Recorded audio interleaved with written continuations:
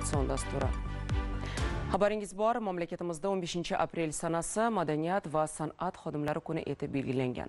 Bu yil ilk bor nishonlangan ushbu sana munosabati bilan davlatimiz rahbari sohaning zahmatkash va fidoi vakillariga bayram tabrigi yo'lladi. Unda yangi o'zbekiston taraqqiyot strategiyasida belgilangan yuksak maqsad va marralarimiz barcha sohalar qatori madaniyat va san'at jabhasida ham oldimizga dolzarb vazifalarni qo'yishi yangi o'zbekiston qiyofasini shakllantirish o'z oldimizga qo'ygan buyuk maqsad. Uchinchi renessans poydevorini yaratishda hurmatli ijodkor ziyolilarimiz hal qiluvchi kuch sifatida maydonga chiqayotgani ta'kidlangan. Kuni kecha bayramni ko'tarinki ruhda nishonlagan soha xodimlari shuningdek keng jamoatchilik ushbu tabrikka o'z munosabatlarini bildirmoqdalar. Bugun judayam baxtiyorman.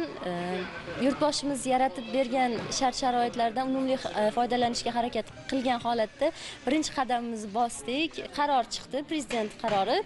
Opera yo'nalishini yanada rivojlantirish bo'yicha. Operani jahon sahnalariga o'zbek operalarini olib chiqishni yanada rivojlantirish yanada kuchaytirish bo'yicha e, qarorlar chiqdi. Man juda yam xursandman chunki mani qiziqqan va yoqtirgan juda yam yoshlikdan havas qilib eshitib tinglab e, katta bo'lgan soham yo'nalishim. Man bundan juda yam xursandman bizga berilayotgan imkoniyatlardan. Bizni o'zbek san'atimizni yanada rivojlantirish uchun berilyapti hamma imkoniyatlar yoshlar uchun berilyapti. Nima deyman biz faqat harakat qilishimiz kerak.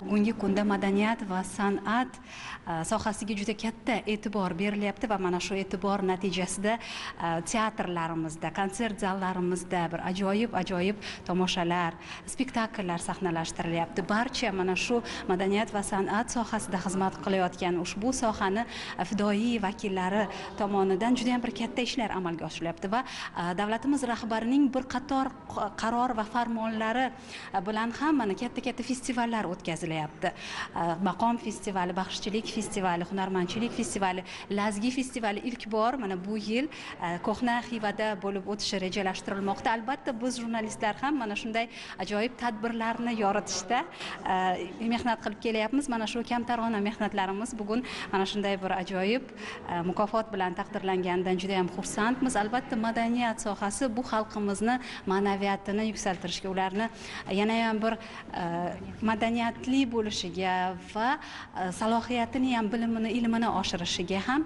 xizmat qiladi deb o'ylayman. Chunki san'at asarlari orqali inson qalbiga kirib boriladi va e, mana shu Э, insonlarda bo'layotgan o'zgarishlarni yurtimizda bo'layotgan o'zgarishlarni ular aynan sahna asarlari orqali ham tomosha qilishadi. Bu borada e, mana shu teatr e, aktyorlari deymizmi rejissyorlar deymizmi xonandalar raqqosalar barcha barcha vakillar mana shu joyda jonbozlik ko'rsatib kelishyapti.